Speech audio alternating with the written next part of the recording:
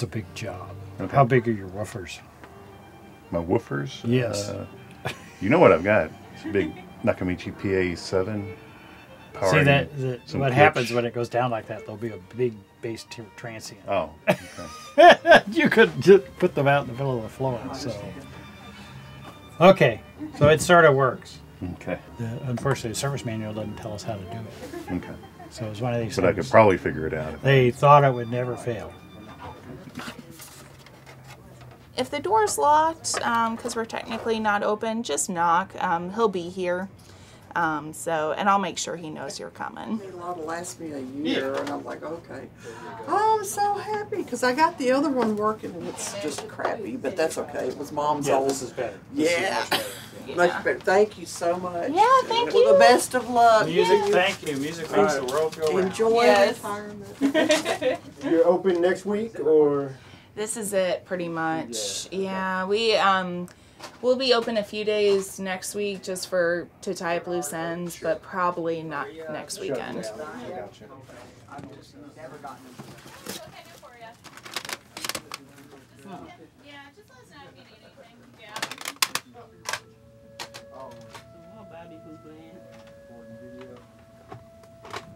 So I'm here, second shift. Better than no shift. And, yeah, I even had even had lunch. hey, Berta. How you doing? Next Friday I'm going to be taking Uh-huh, off. for- yeah. for full. Yeah. So when's your last day here? Thursday. It just appeared on my bench. Okay, he Just brought now. it back. We might hook it up and see if the aux input works. He leaves Friday morning. Oh, he's leaving Friday morning. and he's going moving back to Ohio. So okay. we should do maybe Sunday night. We could do like a a get together or something. Mhm. Just just- everyone. And we'll we'll just take him somewhere. Would he like Slim and Husky's? And that's down the road from him because he Mhm. lives off Bell Road, doesn't he? I asked him, you know, I don't Yeah. know if he do. Because you can pick whatever you want. Yeah, Hi, it is a how's it going? It is a How good? I do for you? Um, I need a remote for a TV. Yeah.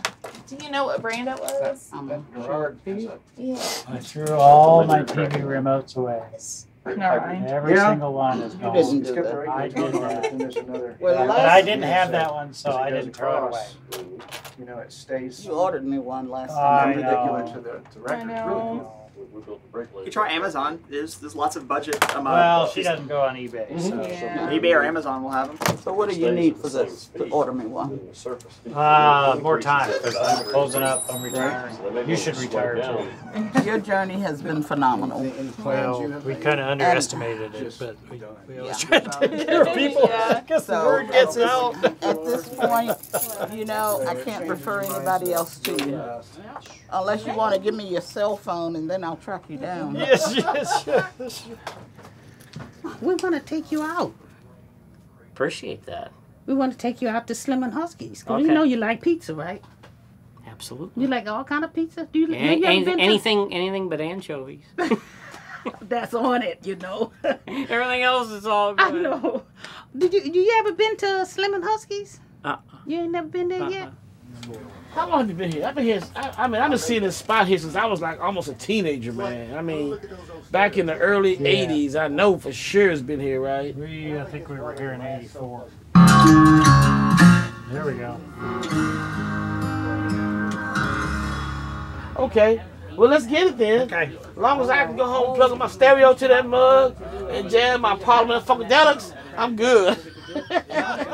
That's ah. right. Kenny, what was the album that really floored you? Any album? What album did you hear for the first time that floored you? That really Oh. blew your mind.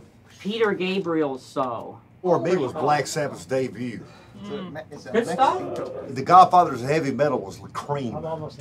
If you listen to Fresh Cream, man, nobody sounded like Cream back in 1966. But yeah, yeah, that's where I Is it in reverse, Tom? Amazing. It's They'll, they'll figure it out. Okay, you figure, Don't even need to. Ah! figure it out. He's up there. Here, on, hold hold on. that. Oh, very good. Oh, please. Okay, wait a minute. Don't die. But if you really want to look at like the premier guitar players, you had the Yardbirds, John There we go. Oh, like Blues that. Breakers. Okay. Yardbirds, you had Eric Clapton, Jimmy Page, Jeff Beck. John Mayall, you had Mick Taylor, which later re- replaced Brian Jones and the Rolling Stones, and Mick Taylor, Mick, Mick Fleetwood, Peter Green, John McVie from Fleetwood Mac. Yeah. And you, do you know the story behind Peter Green's guitar? That that Yeah. Gary Moore, the late Gary Moore from Dublin, he Yeah. ended up with the guitar. He sold it. He sold it to Kurt Campbell from uh, Metallica. Oh, okay, okay.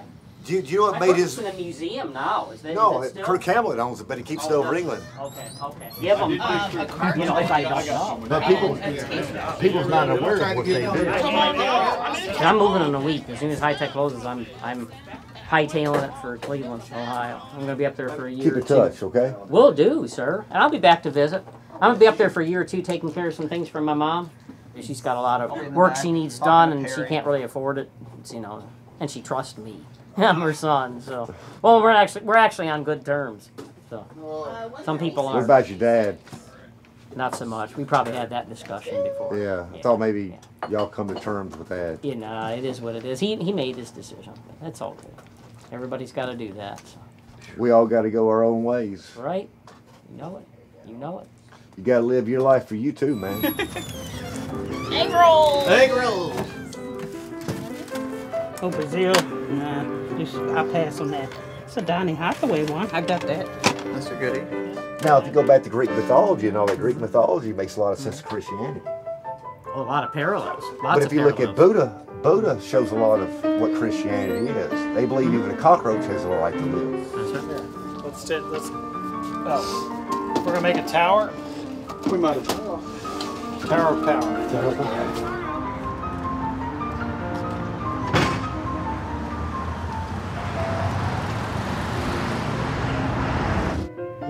Ancient civilization. Yeah.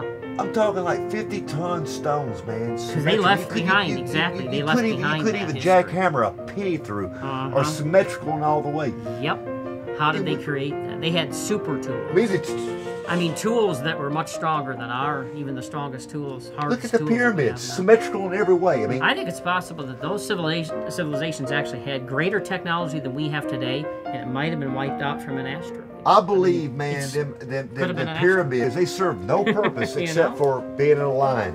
Yeah. Can I get yeah. you guys um to help bring stuff in?